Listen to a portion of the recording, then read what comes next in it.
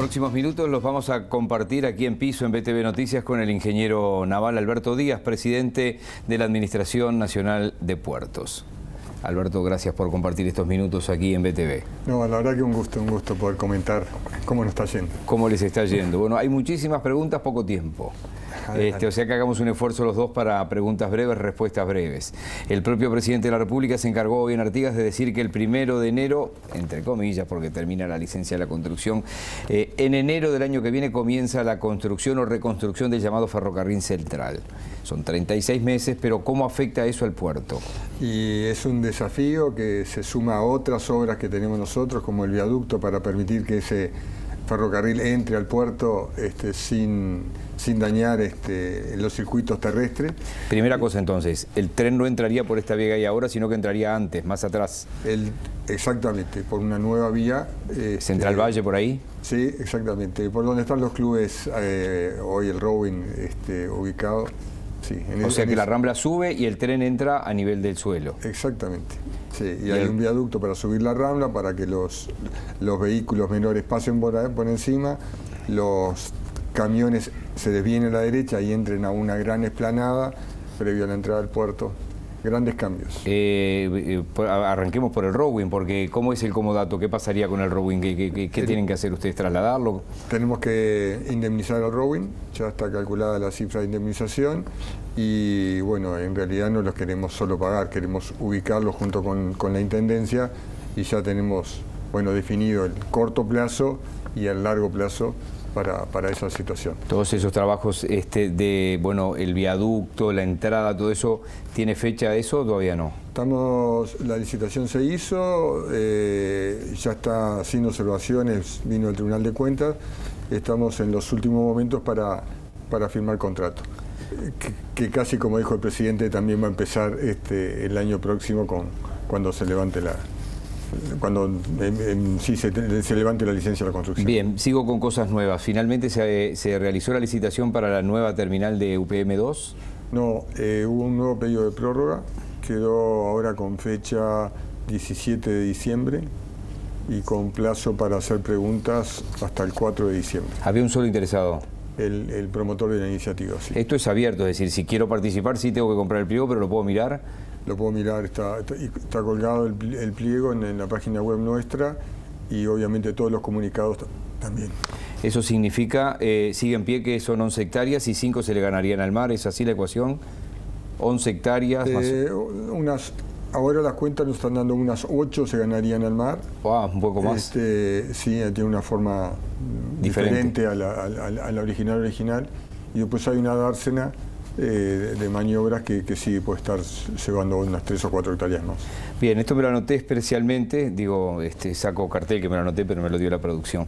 Eh, tiene que ver con la evaluación del año, es decir, entre enero y octubre el puerto movilizó 410.396 contenedores entre operaciones de carga y descarga, importación y tránsito, lo que significó un descenso del 12,5% en el movimiento de contenedores en comparación interanual.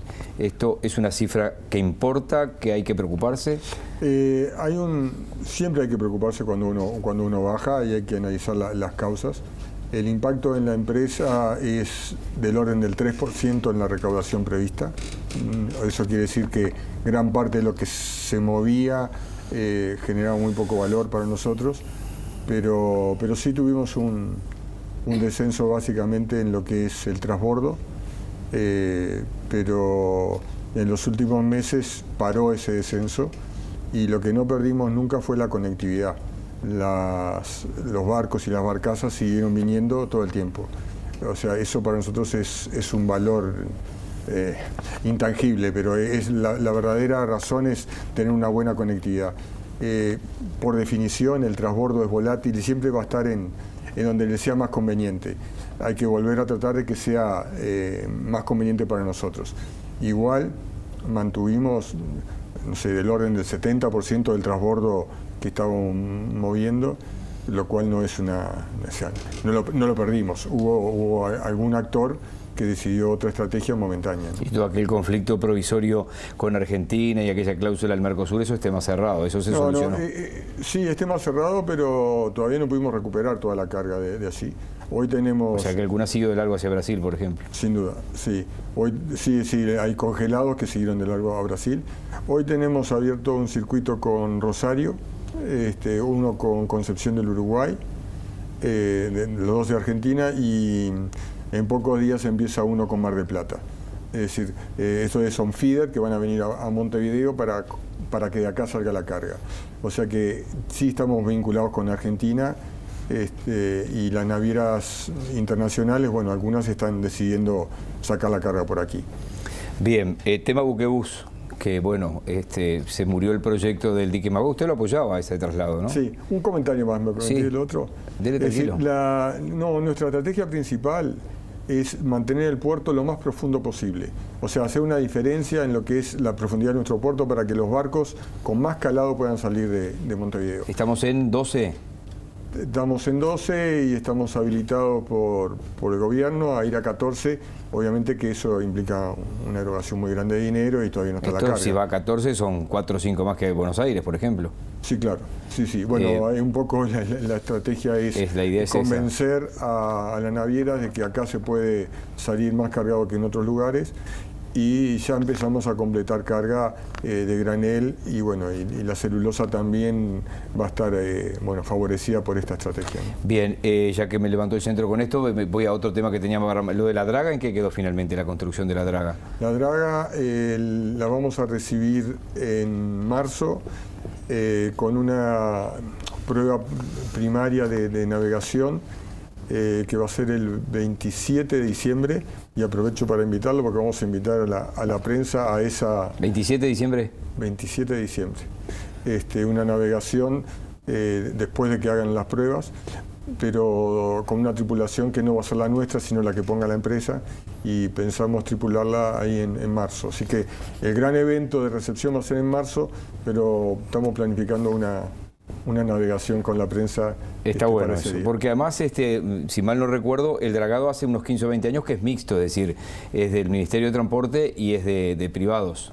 Es de la ANP y privados, sí. Ahí está, no de la ANP, no es del Ministerio no, entonces. No, y todo lo solventamos con las tarifas del puerto, o sea, no está subsidiado el, dragado, no, no es administración central. Bien, eh, Buquebus, ¿se quedó ahí? ¿Qué pasó? Bueno, ¿qué pasó? Ya sabemos, digo, pero... Y bueno, para nosotros eh, tendremos que convivir unos años más con Buquebus en ese lugar. Eh, a ver, Buquebus es, un buen negocio, nos da ingresos, eh, atendemos bastante bien al, turista. Hay cosas para mejorar en la terminal, pero no es algo que digamos no lo queremos. Lo único que nos quedaba en el medio del puerto este, y del puerto comercial de carga. Porque esa dársena sería más útil para ustedes, para yo que sé, para, remolcadores. exactamente, una dársena de servicio. Remolcadores, las lanchas de tráfico, las lanchas que, hacen habituallamiento. Ese sería para nosotros el, espejo de agua, lo, utilizaríamos para eso. Pero del otro lado también molesta la Armada, ¿no? Cuando digo molesta que no se ofenda a nadie, digo, pero también No, también saben los amigos de la Armada que, nosotros pensamos, pensamos, que, es un, que para el desarrollo del puerto es necesario dejar libre la, la dársena así. Usted sabe que acabamos de recibir un, comunicado eh, que tiene que ver con la muerte de estos dos trabajadores en la descarga acá del otro día. Este, un comunicado del Sindicato Único Portuario y Ramas Afines. Dice, ¿cuál es la situación actual del capitán del buque? ¿Cuál fue su declaración? ¿Se respetaron esos tiempos? ¿Se chequearon las cámaras de vigilancia? Previo al inicio de la operativa se solicitó y emitió un certificado libre de gases. La empresa Tamibel ordenó a sus trabajadores bajar a la bodega del buque sin corroborar que estuvieran dadas las condiciones. Y siguen las preguntas del gremio. Este, ¿Cuál es la responsabilidad, si la hay, de la ANP en esta situación? No, la, ANP no, tiene responsabilidad, pero es muy difícil de, contarle al público general porque algo que ocurrió dentro del recinto se cómo no tiene nada que ver. Pero la, ANP no sube a los barcos.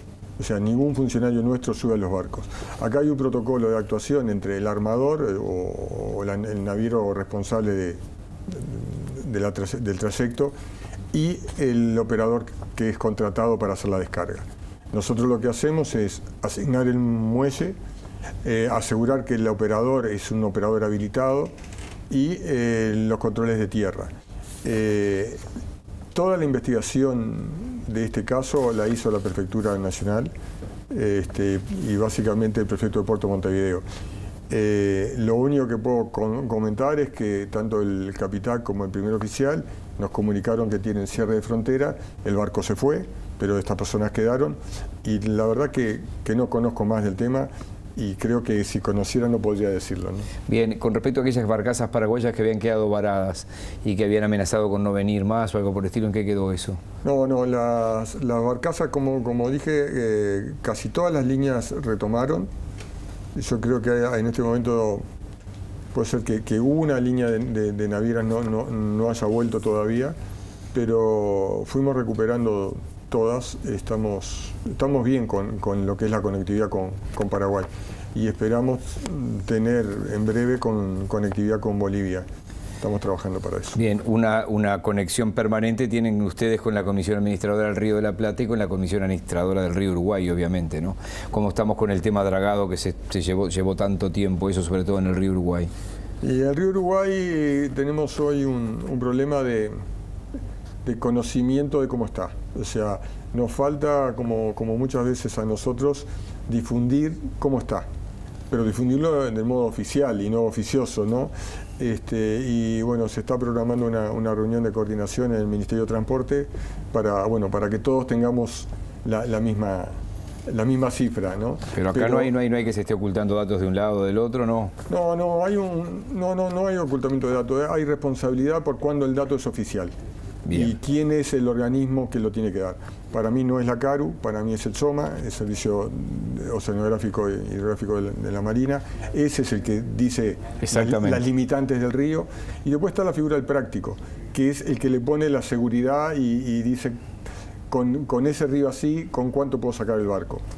Y la otra cosa que hay que tener en cuenta es que es un río y que el río tiene fluctuaciones de marea. Obviamente. Eh, y hay que jugar a favor de eso, no, no, no trabajar con la limitante, sino analizar cómo está el río para, para permitir salir. Igual, es lo que hacen todos los países que tienen esto, ¿no? Sí, sí, digo, uno lo ve en Europa en el Danubio como emblema y en el resto de esos grandes ríos, ¿no?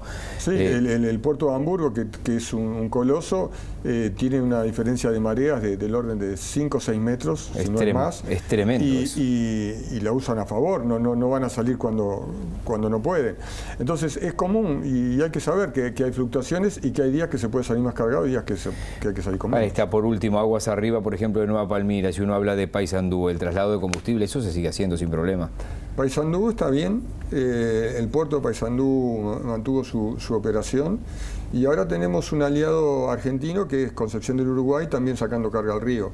Me parece que mientras haya carga en el río, todos vamos a estar eh, contentos. Se cierra el año y que no le pregunté que usted quisiera destacar del año este que se cierra. El, año en... Eh, solo hablamos de una medida, de una cifra que fue baja, la baja de contenedores.